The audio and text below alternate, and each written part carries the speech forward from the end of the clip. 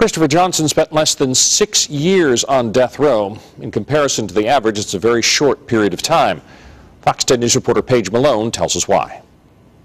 In September, Derrick Mason was executed at Holman Prison after spending 17 years on death row. Before that, another execution after 13 years.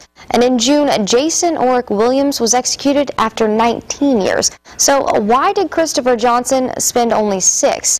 That's because he didn't go through the appeals process.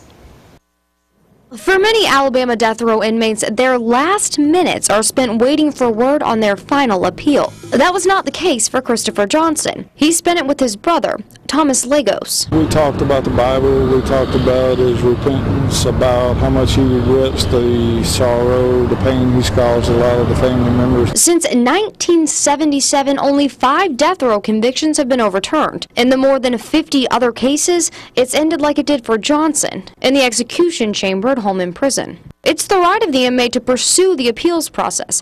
It's also the reason the average time an inmate is on Alabama death row is just short of 16 years. Johnson spent only six years on death row for the brutal murder of his six-month-old son. Johnson represented himself in court and asked the judge for a death sentence. Uh, that's what he got. At this point, the appeals process would have started. Well, to my knowledge, he, he did not want any appeals. He did not want anybody to represent him, and, and he wanted to move forward with this. Johnson filed court papers so that no one would take legal action on his behalf. He didn't, didn't want to live any longer.